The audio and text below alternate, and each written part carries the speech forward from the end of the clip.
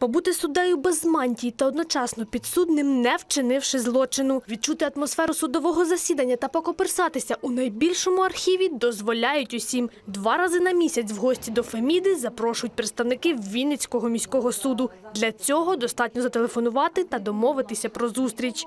Ми хочемо показати, як працює зсередини дуже велика потужна махіна Вінницький міський суд Вінницької області. Ми хочемо ознайомити дітей з людьми, які вершать суспільно значущі рішення, приймають судьби людей. Ми хочемо, щоб вони подивилися, як насправді працює апарат суду понад 176 чоловік. Як працюють судді, понад 43 судді нашого суду.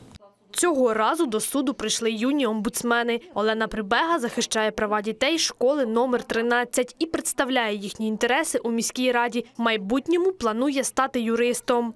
Це класна можливість для людини, яка е, планує цим займатися, тому що вона бачить, як поводять себе люди з досвідом цієї професії і що її чекає в майбутньому.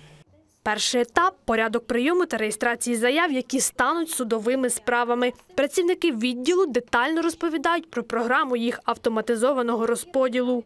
Всі заяви, які протягом дня надійшли, розподіляються між суддями. Найбільше запитань в учнів виникає щодо системи захисту свідків і потерпілих. Це клітки нового зразка. У них пробивне скло. Відкривається. Він виставляє сюди руки кайданках, знімаються кайданки і вікно закривається. А далі величезний архів, у якому запросто можна заблукати. Тут зберігається понад півтора мільйони судових рішень різних років. Підлітки з захопленням гортають старі справи. А саме основне рішення найдавніше це 44-го року.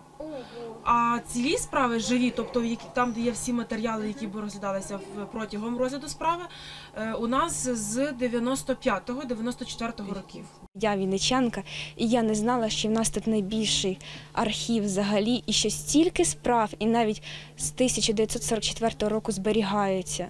Це було дуже цікаво для мене і побачити їх оригінал. Я думаю, що це взагалі не кожен може. Це дуже класно.